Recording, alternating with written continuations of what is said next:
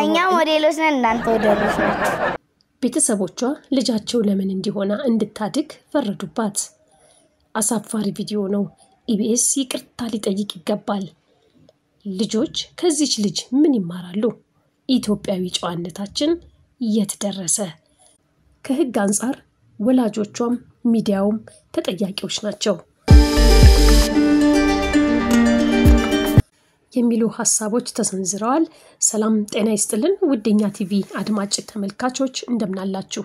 ይህ በዚህ ሰሞን የተሰኘው ፕሮግራማችን ነው። በዛሬው በሰሞን ፕሮግራማችን ባሳለፍነው ሳምንት ልጆች ምን ይላሉ የኢቢኤስ ፕሮግራም ላይ ቀርባ ስለነበረችው የሰባት ዓመት ሕፃን ያንን ፕሮግራም የተመለከቱ ሁሉ እጅግ በጣም አዝነዋል። ሀሳብ አስተያየታቸውን፣ ቁጣቸውን በተለያየ የድረ ገጽ ላይ ተናግረዋል፣ አስፍረዋል። ውድ ተመልካቾቻችን እናንተስ ምን ትላላችሁ? ሀሳብ አስተያየቶቻችሁን comment ላይ አስፍሩልን። እኛም ከተለያዩ ምንጮች ያገኘነውን መረጃ ወደ እናንተ እናቀርባለን። አብራችሁን ቆዩ። ይቺ የሰባት ዓመት ሕፃን ራሷን ስታስተዋውቅ ሞዴል ሳራ እባላለሁ ብላለች።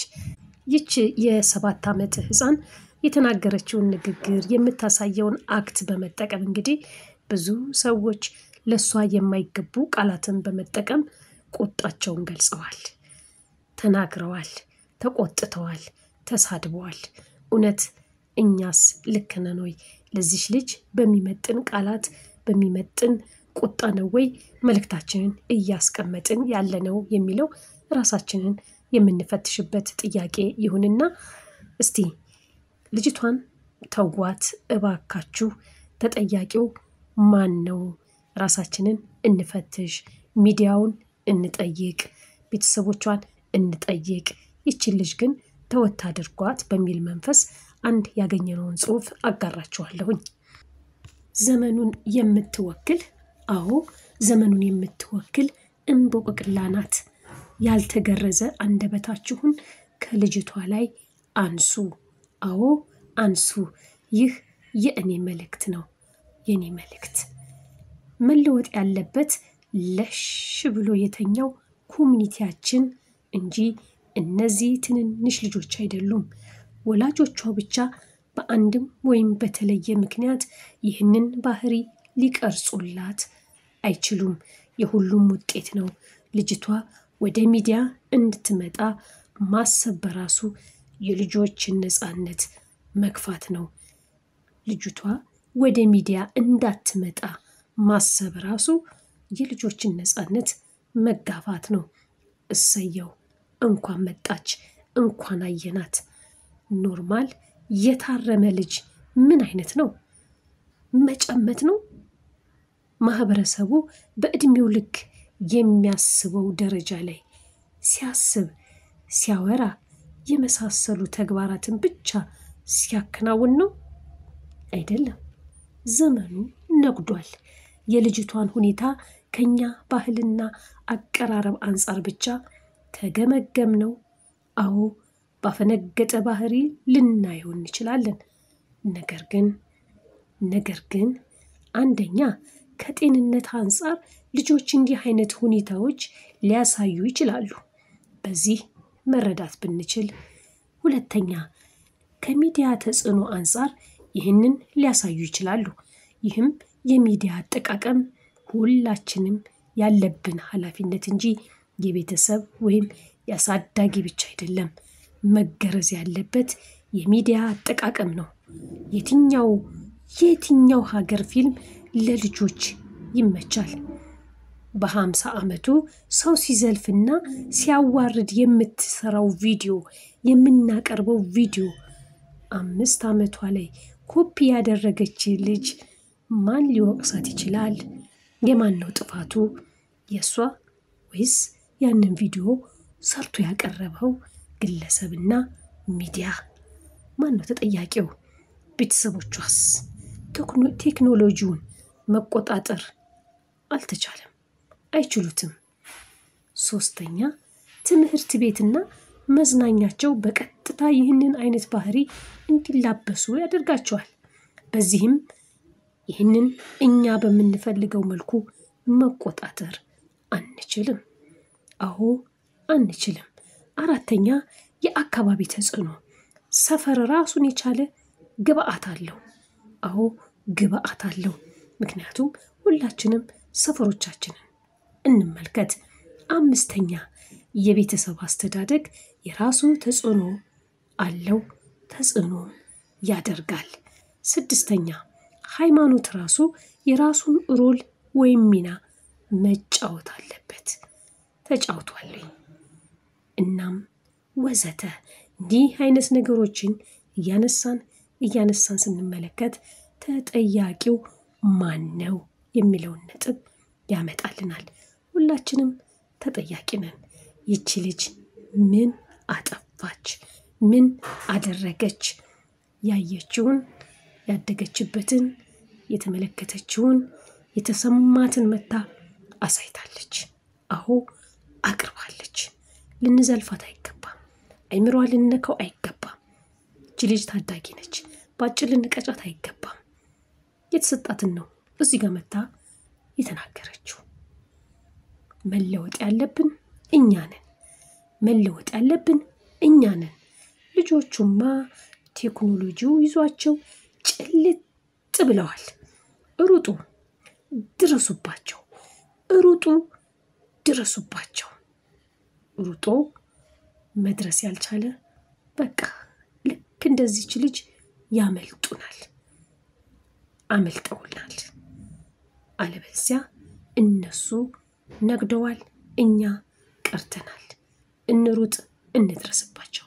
ይቺ ልጅ የማንቂያ ደውል ልትሆነን ይገባል ይላል የዚህ ጽሑፍ ጸሐፊ። ውድ አድማጮቻችን እናንተስ ምን ትላላችሁ?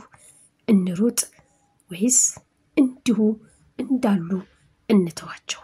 ከዚህ በመቀጠል ደግሞ ጋዜጠኛ ቴዎድሮስ ተክለአረጋይ በፌስቡክ ገጹ ላይ ያሰፈረውን ጽሑፍ ላካፍላችሁ። እንደ ባለጌ አዋቂ የሆኑ ሕፃናትና እንደ ሕፃን ለክብራቸው የማይጨነቁ አዋቂዎች ተጣምረው የቀረበበት ፕሮግራም። እውነት ለመናገር ብዙ ነገር ደክሞኛል፣ ለውጥም የለም። ራሴን ከአይቶ ማለፍ ጋር ለማዋደድ እንዳለብኝ ይሰማኛል። ያም ሆኖ ደግሞ አይታችሁ እንዳላየ የማታልፉት ተደጋግሞ እየተባለበትም ቢሆን ድምፃችሁን የግድ ማሰማት ያለባችሁ የሚመስላችሁ ቦታ ደግሞ አለ። ልክ እንደዚህ ፕሮግራም ጋዜጠኝነት ብዙሃን መገናኛ የሚል የተባለን የተከበረ ሙያና ባለሙያን የሚያዋርድ አዎ የሚያዋርድ ሲጀምር ኢቢኤስ ይህን ፕሮግራም ለምን ለእሸቱ መለሰ እንዳልተወለትና ከዚያ ምኑን ፈልጎ እንደወሰደው አላውቅም።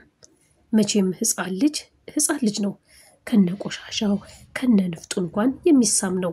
ልጅን በንጽህና ያልያዘ ወላጅ ነው ሊወቀስ የሚገባው መወቀስም ያለበት። ይችን ልጅ እዚች የሶስት ነጥብ አስራ ስድስት ደቂቃ ቪዲዮ ላይ ስቅቅ እያለች ነው ያየኋት። ያም ሆኖ ልጅቷ ላይ ምንም አስተያየትና ቅሬታ የለኝም። ልጅቷ እንደተሰራችው ናት። ይልቅ ከሷ ይልቅ ወላጆቿን ማየት ነው ያጓጓኝ። ለምን ልጃቸው እንዲህ ሆና እንድታድግ እንደፈረዱባት ማወቅ ነው የምፈልገው። ግን ደግሞ እነሱስ እንዴት ሆነው አድገው እዚህ ደረሱ? እንዴትስ ሆነው አድገው ነው እዚህ የደረሱት? አንዲት የሰባት ዓመት ሕፃን እኛ ሞዴሎች ነን፣ እናንተ ደግሞ ወደል ናችሁ ስትል መቅደስ ደባሳይ እየሳቀች ስለ ወደልነቷ ታብራራለች። ዳግማዊ ደግሞ ልክ ልካችንን ነገረችን ይላል። ይህን ፕሮግራም ምንም ይሁን ይቀረጽ መቁረጥ የሚባል ነገር የለም። ከካሜራ ባለሙያው እስከ አቀናባሪው የፕሮግራሙ አርታኢ ካለው ይህን አይነት ተቆርጦ ይውጣ የሚል ይጠፋል። እንዴት ይጠፋል? ብዙ ሰው ስለ ልጅቷ ከእድሜዋ በላይ መሆን ያውም ባልተገራ አንደበት ነው የተናገረው። የትልልቆቹስ ትናንሽ መሆን እንዴት ወደል ነሽ ስትባል እኔም በፊት እንዳንቺ ሞዴል ነበርኩ፣ አሁን ወልጄ ነው ወደል የሆንኩት ትላለች። ለምን እንደሆነ አላውቅም። ቆይ ቆይ ልሸልል ልሸልል ቆይ ትላለች ደግሞ ሕፃኗ baby girl ና boy ቦይ ስትላቸው ይቀባበላሉ። መቅደስ እሺ በቃ እንደ ትልቅ ሰው ልሆን ትላለች። ግን መሆን አልቻለችም። ትልቅ ሰው ብትሆንማ ይህን የሚያሳቅቅ ፕሮግራም ማስቀረት ወይም መልክ መያዝ በቻለች ነበረ። እየመጣሽ ተኚ ብላ አንዲት የሰባት ዓመት ሕፃን ስትተርት እነ መቅደስ በሳቅና በጭብጨባ ነው የሚቀበሏት። ይቺ ልጅ ምን ብትል ነው ይህንን እንኳን ከዕድሜዋ ጋር ስለማይሄድ ይቅር የማይባልበት? ይሄ እኮ በፍጹም ኃላፊነት የጎደለው ስራ ነው።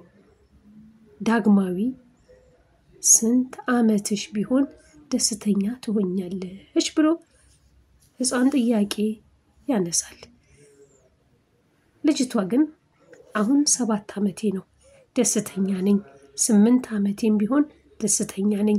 የተሰጠኝን ዕድሜ ነው መውደድ ያለብኝ እንጂ እኔ በፈለግኩት አይሆንም ብላ ከጥያቄው በላይ የሆነ መልስ ትሰጣለች። እንግዲህ ጣቢያው ይላል ጋዜጠኛ ቴዎድሮስ ተክለአረጋይ። እንግዲህ ጣቢያው እንዲህ ያለውን ረብ የለሽ ፕሮግራም ባያቀርብ ተብሎ አስተያየት አይሰጥም። ምክንያቱም ዓላማ ብሎ የያዘው ነው ረብጣ ብር የሚያገኝበትና ብዙዎችን ጣቢያዎች እሱን ለመምሰል ሲባትሉ እንዲውሉ ያደረገበት አሰራሩ ነው። በነካጁ የልጅቷን ወላጆች ከስነ ልቦና ባለሙያ ጋር አቅርቦ ልጆች እንዴት እንዲህ ማደግ እንደሌለባቸው አንድ ፕሮግራም ቢሰራልን የፕሮግራም አቅራቢዎቹ ከዕድሜያቸው ማነሳቸው ልክ ያልሆነውን ያህል አንዲት የሰባት ዓመት ሕፃን እንዲህ መበላሸቷም ለወላጆች የስነ ልቦና ባለሙያ ክትትል እንደሚያስፈልጋቸው ጥርጥር የለውም። ልጅቷንና የልጅቷን ቤተሰቦች የምታውቋቸው ወዳጅ ዘመዶች ካላችሁም ግዴላችሁም አይሰሙንም ሳትሉ ምከሯቸው። ለሕፃኗ የወደፊት ሕይወት ስትሉ ኢቢኤስ ቴሌቪዥንም የሚዲያ አማካሪ ቢኖረው አይጠቅመውም ትላላችሁ? ሊኖረው ይገባል። ሌሎች ሚዲያዎች ኢቢኤስን ለመከተል ኢቢኤስን ለመሆን እየቋመጡ ይገኛሉና አርአያነቱን ማስተካከል ይገባዋል። ኢቢኤስ ቴሌቪዥን የሚዲያ አማካሪ ቢኖረው የሚጠቅመው ለራሱ ነው። ምክንያቱም ብዙ እሱን ተከታዮች ያፈራል፣ ተከታይ ሚዲያዎችም ይኖሩታል። ኢቢኤስ ከዚህ አሰራር ይውጣና ሌላ ቀለም ይኑረው ማለት አይደለም። ይህንንም እያልኩ አይደለም። ቢያንስ እንዲህ መረን የለቀቁ ነገሮችን እንኳን ለማረም ግድ ይለዋል፣ ማረምም ይገባዋል ይላል ጋዜጠኛ ቴዎድሮስ ተክለአረጋይ። ውድ አድማጭ ተመልካቾቻችን እናንተስ ምን ትላላችሁ? ሀሳብ አስተያየቶቻችሁን comment ላይ አስፍሩልን።